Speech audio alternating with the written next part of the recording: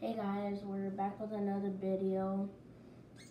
And after my last video, I waited four days. And if you know why right now, it's because of Dak Prescott.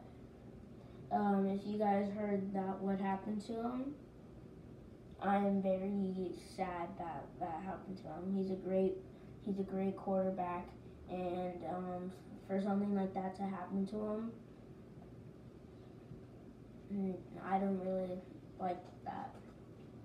So hopefully you come back here, back um, next year, Dak, and you bring the um, get the Cowboys to the playoffs. And um, every like equals one prayer for Dak Prescott. And we'll see you next year, Dak. We'll come back better than ever, okay? And um, I just want to say, me and everybody in Dallas is always is cheering for you and waiting for you to get back up.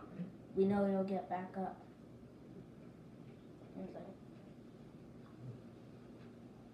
And we can't wait to see you. Sorry, my dog is being kind of loud.